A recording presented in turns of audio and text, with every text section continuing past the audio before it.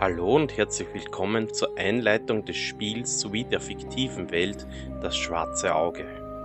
Das Spiel ist ein klassisches Pen-and-Paper-Rollenspiel und wurde seit der ersten Ausgabe 1984 stark verändert.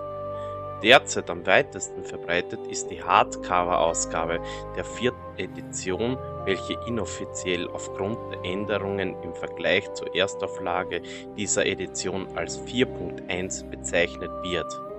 Im August 2015 wurde die fünfte Edition DSA 5 veröffentlicht. Zunächst einmal möchte ich das Spielprinzip erläutern. Das schwarze Auge, kurz DSA, ist ein Pen-and-Paper-Rollenspiel. Das Ganze funktioniert so, dass ihr eigentlich nur Stift, Papier und Würfel vor euch liegen habt.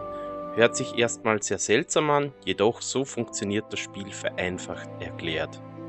Ihr habt einen Heldenbogen, auf dem euer Charakter notiert ist.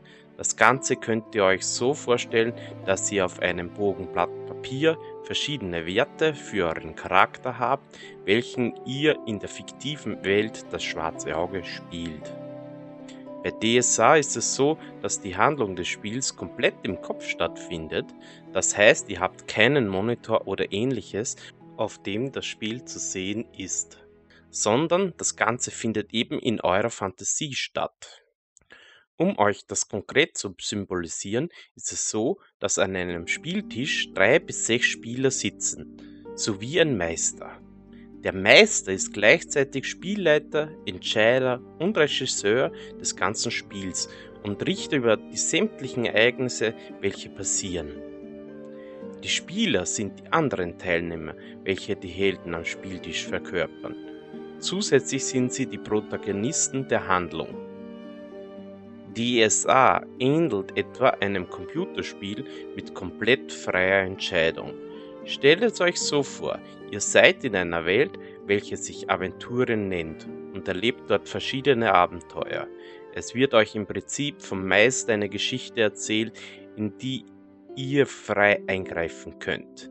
Es gibt verschiedene Nichtspielercharaktere, kurz NSCs genannt, mit denen ihr agieren könnt und sogenannte Aufgaben eben bekommt. Das Ganze wird euch dann vom Meister in einer hübsch verpackten Geschichte erklärt. Er sagt zum Beispiel, ihr seht jetzt dort vorne auf der Wiese eine Person, welche euch anschaut. Ihr geht zu dieser Person hin, das bestimmt ihr dann selber als Spieler und redet dann mit dieser Person. Natürlich existiert diese Person, mit der ihr da gerade redet, nicht wirklich, sondern der Meister verkörpert diese Person. Das Ganze ist also quasi ein Rollenspiel, welches komplett ausschließlich in eurer Fantasie stattfindet. Hört sich zunächst einmal etwas seltsam an, doch das Spiel hat wirklich einen ganz besonderen Reiz.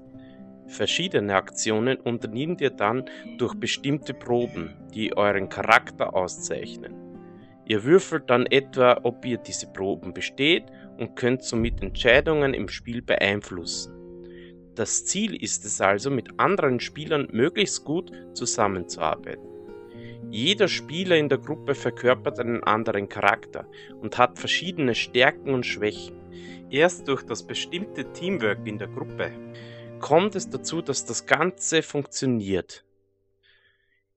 In DSA gilt es beispielsweise Rätsel zu lösen, im Kampf stark zu sein oder gesellschaftlich sich gut mit Leuten zu unterhalten, beziehungsweise mit diesen gut zu stellen, damit bestimmte Missionen weitergespielt werden können.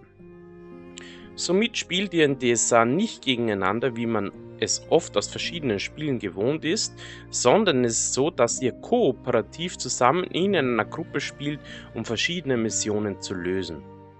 Ihr seid quasi immer die Guten und kämpft meist immer irgendwie gegen das Böse oder versucht irgendwelche Hinterhalte sowie illegale Aktivitäten aufzudecken.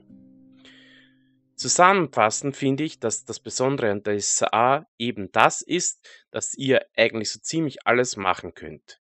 In einem PC-Spiel ist es meistens so, dass ihr begrenzt seid. Beispiel: Eine Tür geht an einer Stelle nicht auf, weil sie im Spiel nicht einprogrammiert wurde. Beziehungsweise was dahinter ist. In DSA ist es jedoch nicht so, denn der Meister ist derjenige, der eben alles entscheidet. Er kann durch seine Improvisation eben alles machen. Dies bedeutet, man kann im Spiel so ziemlich überall hingehen, abgesehen davon, wenn es halt unrealistisch wäre. Sozusagen, kein Held wäre dazu im Moment dazu fähig, eine 100 Meter hohe senkrechte Wand ohne Griffmöglichkeiten hochzuklettern. Trotzdem habt ihr besonders in Städten viele Möglichkeiten. Ihr könnt so viele Aktionen mit Nichtspielercharakteren machen, welche in einem vergleichbaren PC-Spiel eben begrenzt wären. Man sagt auch, dass die so ziemlich einzige Grenze in DSA die eigene Fantasie ist. DSA spielt in einer ganz besonderen Welt, nämlich einer fiktiven und lebendigen sowie magischen Fantasy-Spielwelt. Das Setting von DSA ist an das Mittelalter angelehnt und entspricht so auch ziemlich dem. Demnach gibt es beispielsweise Ritter, welche mit Schwertern kämpfen, sowie übersinnliche Personen, welche Magier oder Geweihte genannt werden. Zusätzlich gibt es auch andere Rassen wie etwa Elfen oder Zwerge. Die ganze Welt von DSA nennt sich erstmal Dere. Diese umfasst vier Kontinente. Als erstes Aventurien. Auf diesem Kontinent finden die meisten Abenteuer und Handlungsstränge statt. Die weiteren Kontinente heißen Myranor, Turia und das Riesland. In Aventurien gibt es ein paar größere Staaten, welche oft eine Rolle spielen, wie in etwa Alantha, Aranien, das Mittelreich, Bornland, Horusreich oder das Kalifat.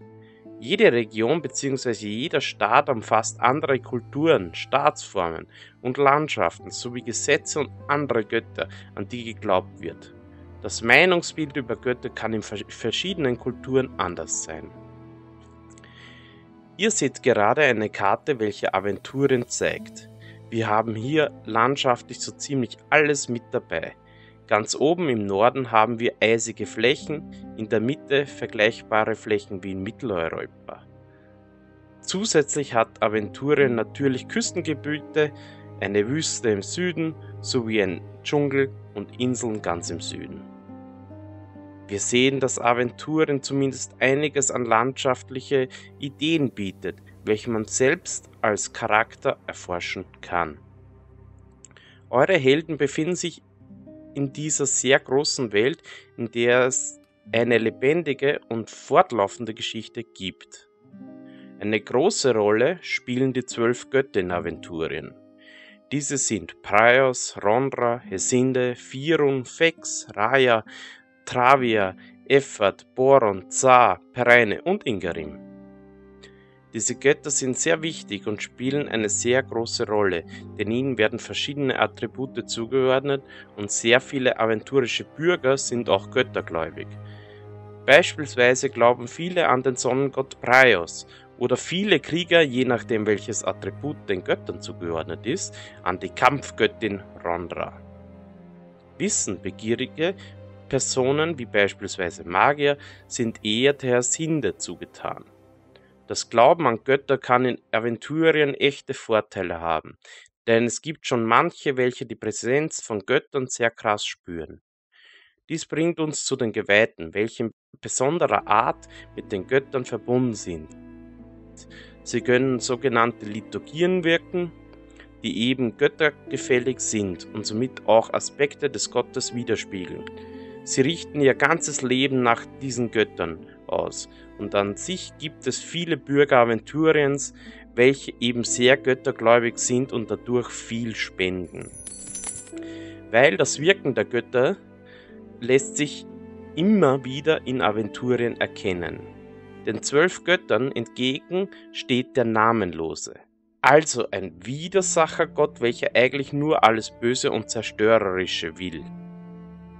Man kann ihn also mit dem irdischen Teufel vergleichen.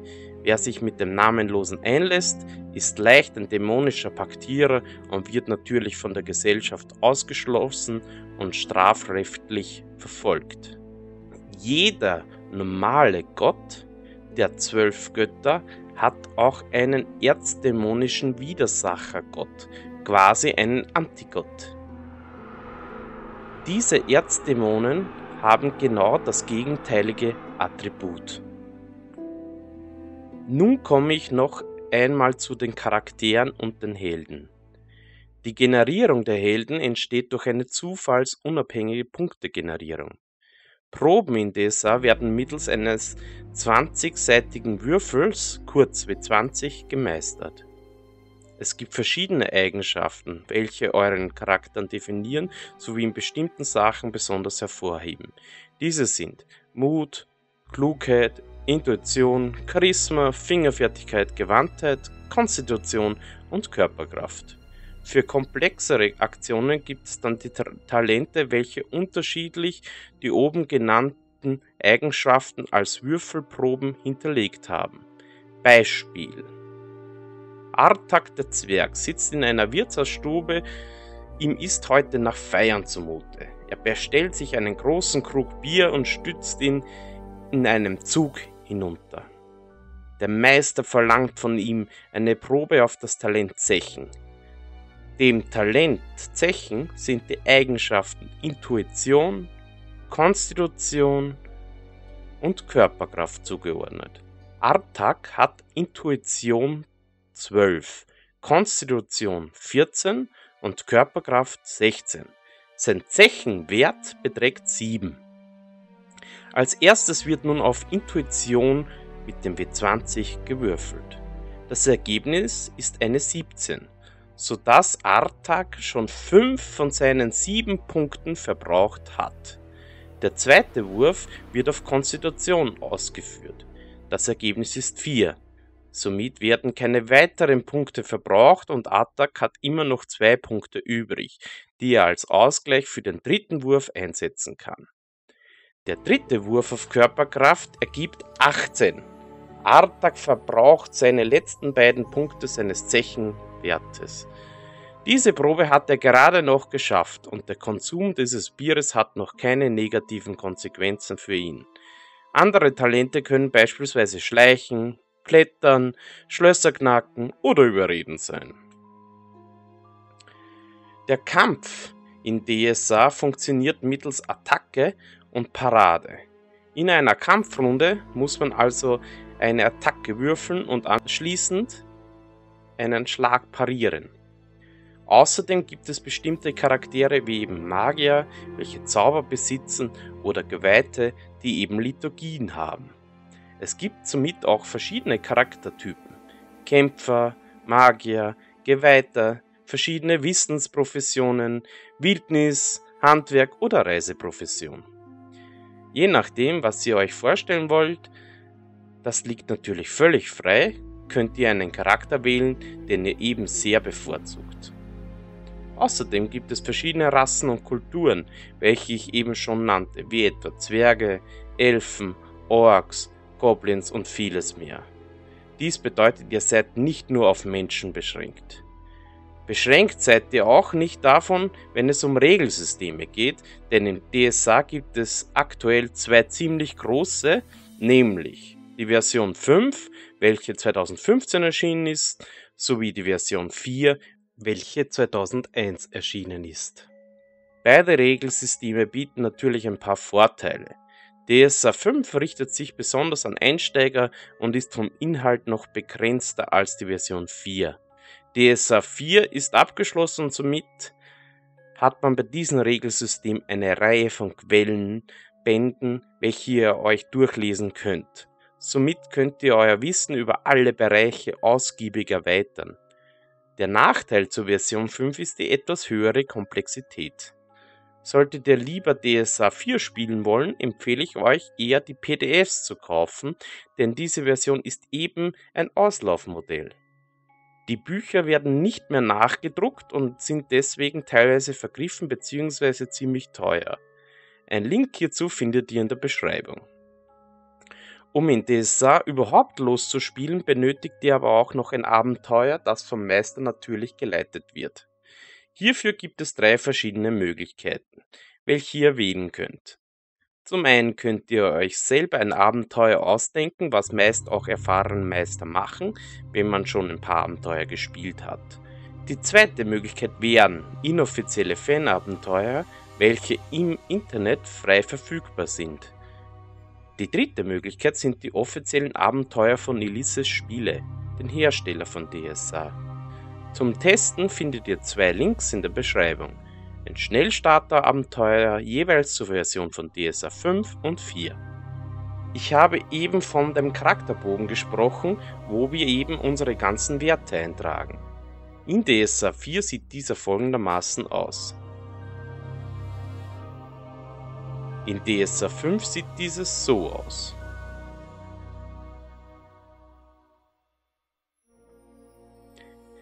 Im Prinzip sehen beide sehr ähnlich aus. Ihr tragt dort eure Werte ein. Von Vorteilen, Nachteilen, Talenten, Sonderfertigkeiten bis über zu der Lebensenergie, der Ausrüstung und dem Namen stehen Felder zum Ausfüllen bereit. Links dazu findet ihr ebenfalls in der Beschreibung. Wie sieht es jetzt aus? Soll ich DSA online oder offline spielen? Was ist besser? Naja, das ist natürlich eine Gewissensfrage. Ich persönlich finde es besser, wenn man DSA offline spielt, also quasi mit Personen am Spieltisch. Es gibt jedoch auch die Möglichkeit, wenn keine Personen für eine derartige Runde zur Verfügung stehen, eine Partie online über etwa Teamspeak oder Skype zu spielen. Dafür bietet sich besonders die Plattform Drachenzwinge an, weil diese einen eigenen Teamspeak-Server zur Verfügung stellen. Auf diesem Teamspeak werden Rollenspiele aller Art, hauptsächlich jedoch das schwarze Auge gespielt. Dort könnt ihr ohne großen Aufwand eine Proberunde mitspielen. Natürlich benötigt ihr auch ein Programm für sämtliche Würfelproben, wenn ihr nicht an einem Spieltisch sitzt. Ich empfehle hierfür die Plattform Roll20. Hier werden sämtliche Würfelproben den anderen Mitspielern sowie dem Meister gezeigt. Zusätzlich können dort Bilder und Dateien hochgeladen werden, welche ebenfalls alle Mitstreiter sehen können. Das Forum Orkenspalter.de bietet auch noch zusätzliche Hilfen für Neulinge sowie erfahrene Leute. Dort werden oft Fragen zu Regeln und vieles mehr zeitnah beantwortet. Das Wiki Aventurica ist ebenfalls sehr zu empfehlen. Dort gibt es viele Informationen, welche jederzeit dank praktischer Suchfunktionen nachgeschlagen werden können. Sämtliche Angaben verweisen dort gleichzeitig auch auf die jeweiligen Regelwerke und Bücher von Ulysses Spiele. Das war jetzt ein kurzer Überblick über das Spiel Das schwarze Auge. Wenn ihr weitere Videos zu diesem Thema sehen wollt, könnt ihr dies gerne unter der dementsprechenden Rubrik in meinem Kanal tun. Zum Thema Das schwarze Auge sind folgende Projekte geplant. Erstens Vertonung. Buch zu Hörbuch von Das schwarze Auge Romanen. Zweitens Videos von Offline-Runden am Spieltisch. Von der Erstellung des Charakters bis zum Abschluss des Abenteuers. Drittens Let's Play der Nordland-Trilogie HD-Version Neuauflage. PC-Spiel. Viertens Let's Play des PC-Spiels Satinovs Ketten sowie dessen Nachfolger. Solltet ihr Fragen haben, könnt ihr dies gerne in den Kommentarbereich schreiben. Selbstverständlich freue ich mich über ein Abo und falls gewünscht, könnt ihr euch über die Glocke immer informieren lassen, wenn auf meinem Kanal ein neues Video online geht. Somit wäre alles gesagt und ich wünsche euch noch viel Spaß auf meinem Kanal. Mögen die zwölf Götter mit euch sein.